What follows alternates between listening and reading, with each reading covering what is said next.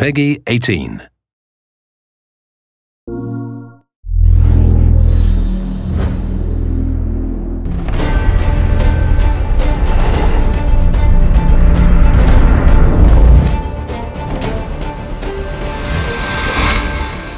Started this game a bit over two years ago, we knew we were going to ship on next gen. That was our objective. So we knew we needed to build a game that was respective of next gen. You know, it had to be bigger. It had to be uh, pushing us out of our comfort zones. PlayStation guys were super uh, respective to hearing to our needs and actually going back and forth with us, which was really awesome. The game is really stunning on the PS4. It's really the most beautiful world we've ever built. It's very lush. It's very uh, dense. You know, a lot of people comment at how much life there is underwater, the amount of fish and the amount of foliage. Beyond all that, you know, we have jungles that when it's a torrential downpour, you feel how hot and sticky it is. You feel the dense environment around you.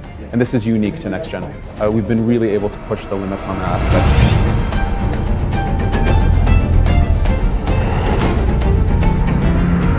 We loved Aveline and Liberation, and we felt that we could tell more story. The extra Aveline missions, it's about an hour of extra content uh, spread over three missions. These three missions are three uh, solid uh, blocks of narrative that progress her story exclusively for PlayStation 3 and 4. Don't you dare run from me again. She is an assassin, so she does live by the creed, but she also has her own motivations and she has a strong personality. So she sometimes has to go with what she feels is right, and sometimes it does not line up with the Brotherhood, and fans have really enjoyed that.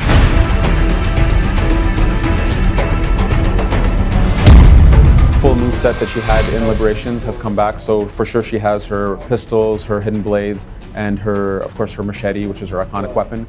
Everything that people loved about her combat style from Liberations is back in AC4.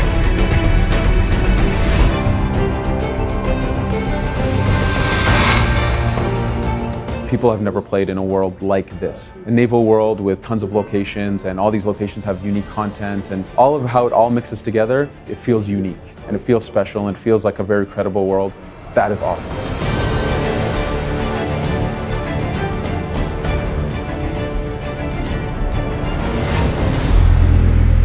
Assassin's Creed 4 Black Flag. Get 60 minutes of additional gameplay only on PlayStation.